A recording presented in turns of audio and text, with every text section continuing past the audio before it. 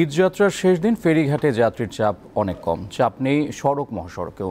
আন্তজেলা bus বন্ধ থাকায় truck, pickup van ও মোটর সাইকেলে রাজধানী ছাড়ছে মানুষ।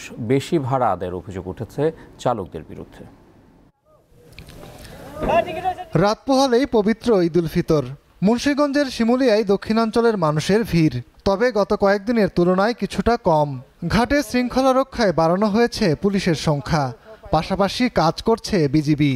না যাওয়ার ইচ্ছা ছিল এখন ফ্যামিলির রিকোয়েস্ট দিতে হচ্ছে আর কি। এক ঘণ্টার মধ্যে মাওয়া চলে আসলাম রাস্তা একদম ফাঁকা। পাটুরিয়া দৌলতদিয়া রুটে যাত্রী সংখ্যা আরও কম।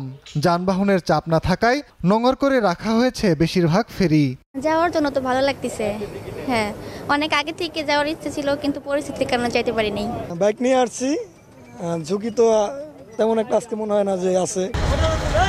এদিকে আন্তজেলা বাস বন্ধ থাকায় ট্রাক পিকআপ ভ্যান মাইক্রোবাস মোটরসাইকেলে করে এমনকি পায়ে হেঁটেও রাজধানী ছেড়ে গ্রামে ফিরছে মানুষ। নেই সামাজিক দূরত্ব বা স্বাস্থ্যবিধি মানার বালাই। একটা করব মজা সবার সাথে তার জন্যই মজাটার জন্য যাচ্ছি। ট্রাক পাইতেছি?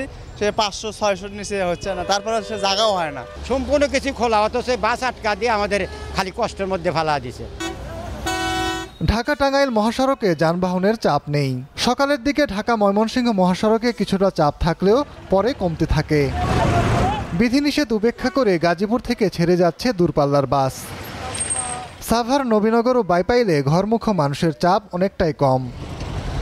মাহমুদুল্লাহ রিফিন দীপ্ত সংবাদ, ঢাকা।